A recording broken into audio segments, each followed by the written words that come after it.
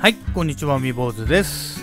今回の F12021 マイチームキャリア56回目、3シーズン目のね、第16戦、アメリカグランプリとなっております。あの特徴的なね、1コーナーが有名なオースティンはコータ、サーキット・オブ・ジ・アメリカズってやつですね。すごいですよね。あの、壁のようにそそり立つ1コーナーって感じでね。はい、じゃあね、とりあえず今回も行ってみたいと思います。それでは本日もよろしくお願いします。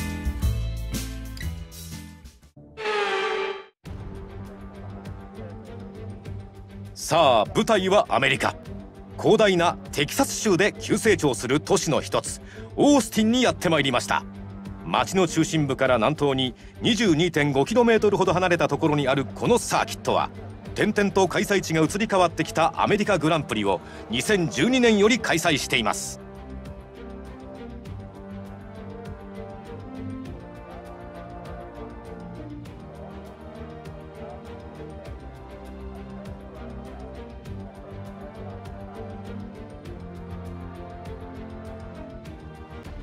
レース開始まであと数分です。本日のグリッド順はこのようになっています。ミハエル・シューマッハがポールポジションにつきました。そしてフロントローのもう一台はバルテリ・ボッタス。今日の残りのグリッドを見ていきましょう。ノリスハミルトン。ダニエル・リカルド。フェルスタッペン。ルクレールサインツ。ペレスピエール・ガスリー。ミック・シューマッハ。神風角田裕樹ベッテル。ラッセル・ラティフィ。アントニオ・ジョビナッツィそして松下信春ティクトムマゼピンオコン最後尾に位置するのはランス・ストロール。トップでフィニッシュするのは一体どのドライバーになるのでしょうか？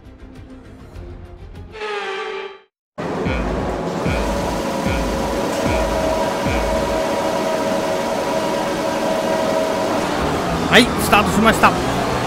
本当にね最近のスタートはバッチリですって感じです。まあトラックも使ってるんですけどね。はい。1コーナーねちょっと無理気味にいったけどなんとかポジションアップは果たしてます。で目の前にはねフェルスタッペンがいますけどね。でコータで一番苦手な S 字ですね。まあギュンギュンギュンと離れていってます。基本的にねこの F1 っていう、まあ、2021じゃなくて2020の頃からそうでしたけど S 字が苦手なんですよね。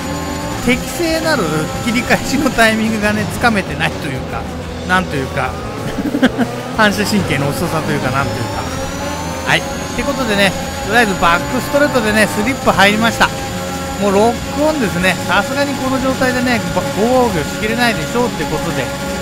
とりあえずねアウト側に振りましたけどここでねおっかねえのはねイン側に切り込んでいくとね交錯するんですよね。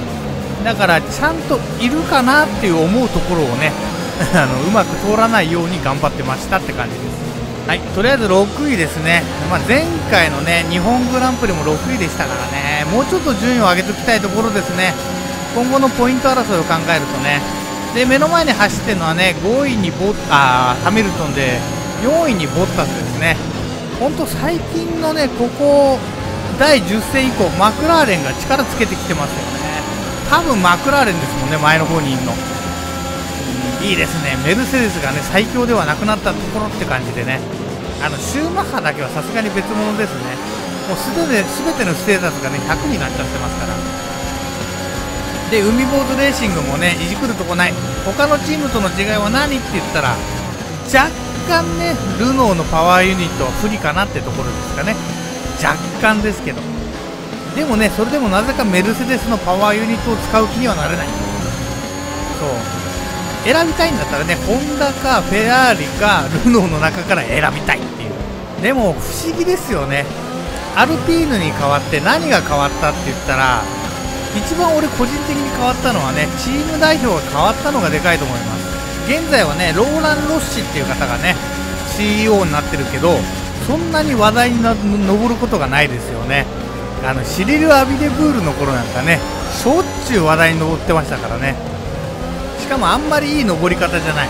まあ早い話がねビッグマウスすぎたんですよね。本当に。で周りに対しても攻撃するする。なんであの人がチーム代表だったんだろうって感じですけど。まさにねマクラーレン時代のエリック・ブーリエみたいな感じでしたよね。であのシリル・アビデブールねそう俺も覚えてますけど皆さんもね覚えてるかもしれないけど2014年小林カムイ選手がねあのケーターハムに入った時のチーム代表だったんですよね。まあ途中からねあの地獄の歯医者さんが引き継いでからはシリル・アビデブールはねルノーに戻っていってまあその後引き継いだのがねクリスチャン・アルバースっていうねやっぱり元 F1 ドライバーが引き継いでましたけどね。あれも形だけのチーム代表でお飾りみたいなもんでしたからね。結局実験握ってたのはねあの地獄の歯医者さんコリン・コレスって感じでしたから。でもチーム代表ってやっぱりチームの顔って感じがしますからね。だから本当に印象変わりますよね。マクラーレンが印象変わりましたもんね。ザイドルさんになってからねすごく変わったイメージ。だからあんだけねブーリエの頃はザク・ブラウンもねボッコボコに叩かれてたのに最近ザク・ブラウンもねそんなに表に出てこなくなりましたからね。まあネットフリックスではねよく出てきてますけどね。あのあのネットフリックスの番組俺も見てますからあの F1 のやつ。いや本当にね今でも残ってるけどあのホンダのマクラーレンホンダ最後の年のひどかったですからねホンダ叩きマクラーレンの。ネットフリックスの中でもねエリック・ブーレイもザック・ブラウンもねエンジンをこき下ろしてましたから。であとはあれですよねやっぱりチーム代表っていうとトトウルフ。トトさんですよトトさん。あのウイヤメルセデスがね調子いい時はねあのすごくねいいおじさんに見えるんですけどね。すごくね。ただね追い込まれだすとね本当に悪い顔がいろいろ持ち出し持ち上がりだしますよね本当に。なんかねそう政治的すぎて嫌なんですよね俺は。クリスチャン・ホーナーはね文句は言うけどそこまで政治的に動くイメージではないって感じで。本当にねなんかなんかやっぱり釈然としないものがあるかなって感じで。あんまり好きではないですね。だから今ね全部のチーム代表で誰が一番好感的かなって言ったらやっぱザイドルさんかなと思いますね俺は今。ビノットさんはねあんまり好きではないですビノットさんも。本当なんかねなんか嫌ですねビノットさん。まだアリバベーネの方が良かったですね俺は。フェラーリはねなんだかんだでアリバベーネの頃がうまくいってたような気がするんですけどね。まああれもねフェラーリ内部の政治によってねアリバベーネが追い出されてまあ、ビノットがついたっていう形になったみたいですけどね。まあ F1 と政治は切っても切り切り,、まあ、切り離せないやつですよね。なんかね今後新しいチームが立ち上がった時にねロンデニスとかまあそこら辺の人間がね戻ってきても面白いのかなと思いますよね。最近ねアストン・マーチンの方にねあのウィットマー氏がね戻ってきましたしね。元マクラーレンの代表の。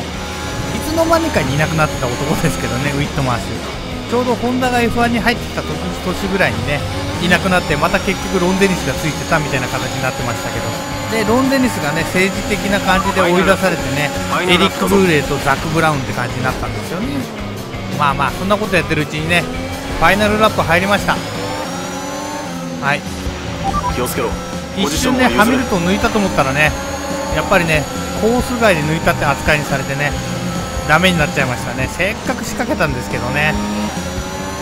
でそのおかげでねフェルスタッペンにね 一瞬前を浮かれてヒヤッとしましたけどそれに対処してたらねもうハミルトンとね離れてしまったのでねもうこれは抜けねえかなっていう感じで最終的にね6位で終わりそうかなってやつです。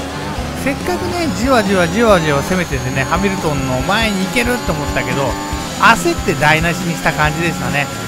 ここで仕掛けた方が良かったですね。1コーナーで仕掛けねえで、うん、そっちの方が多分より確実でした。しかしねこのクォーター終わるとね残り4戦ですね。メキシコでブラジルあオーストラリアもありましたよねそういえば。で最後にアブダビでフィニッシュですよね。はいもうマイチームキャリア。最終的にはねさっさとね2シーズン目で決めないときついってことですね。3シーズン目まで引っ張ると周りの車まで強くなるってことで。はいまたシューマッハが勝ったようですね。このハイテンションの周囲をやろうぜがまた聞こえました。はい今回もね前回と同じ6番手フィニッシュですはい。ドライバー・オブ・ザ・デイ持ってきましたね。あの予選でね上位に行くことがなくなったんでね比較的取りやすくなりましたみたいですね。はい。シューマッハがねチャンピオン決めたみたいです。まあとりあえずね俺はなれなかったけどチームからちゃんとチャンピオンを輩出しましたよってことです。その新たなフォーミュラー1のドライバーズチャンピオンが姿を現しました、はい、レーシングがドライバーズチャンピオンを持ってきましたねチャンピオンシップもさすがにね難易度落とさないとあのシューマッハには勝てる気がしない予選でね1秒違うんですから。まあ逆に言うとねあのフランスでねシューマッハの上を行ったっていうのが奇跡なんですよねちゃんとシューマッハに1回勝ってますから。信頼性がずば抜けていましたね。その1回勝ったのだけが誇りってやつですね。冷静さを維持できていたため他のドライバーのミスにつけ込み順位を上げられるチャンスを確実につかめました簡単にトップに立ちましたね。最高のパフォーマンスを見せた3人のドライバーが今表彰台に向かっています。マクラーレン今回は興味深いグランプリでした。メルセデスどっか行っちゃいましたよね。しかもリカルドが2位なんですね。アホだな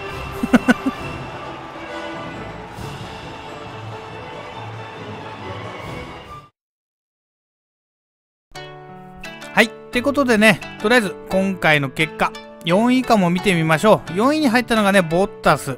5位にハミルトン。で、6位海坊主の7位フェルスタッペン。8位にルクレールが入って、9位にね、久々ガスリーが入ってますね。で、10位にペレスって感じです。で、ドライバーズチャンピオンはね、こちらの方はちょっとした順位の変動が起きてますね。まあ、俺がマックスを抜いて、で、ルクレールがね、リカルドに抜かれたってところで、でもね、まあ、結局ね、どうなるか分かりません。うーんと、ハミルトンとボッタスもね、前半の貯金があるんでね、あでもこの後ね、オーストラリアとかね、苦手なところもあるんでね、ほんとどうなるでしょう。はい、コンストラクターズの方はね、徐々に徐々に後続を引き離し始めてます。うん、このままね、コンストラクターズは決めたいですね。はい。ってことで、今回は以上になります。最後までご視聴ありがとうございました。